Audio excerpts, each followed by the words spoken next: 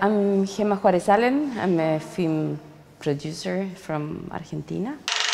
Mm, have a good team, a good team of uh, filmmaker and producer.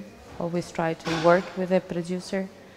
Uh, sometimes we uh, directors might think that uh, they don't need one, but they they are very important to help you um, structure your, project, your project, finance your project, um, give the appropriate time to development, to production, take the right steps during post-production. Do things thorough and don't be cheap. watch films. Um, watch films you are very interested in and watch others that you might not. Um, watch everything. Try to be as diverse as you can and also read.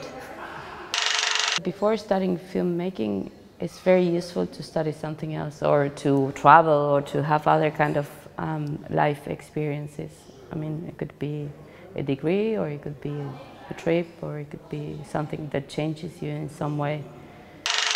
Allow enough time for development of the film, not to rush into production, like find your characters, know your characters, understand your story, um, understand what you're trying to say with your film, and allow uh, the film to have um, to develop all its potential.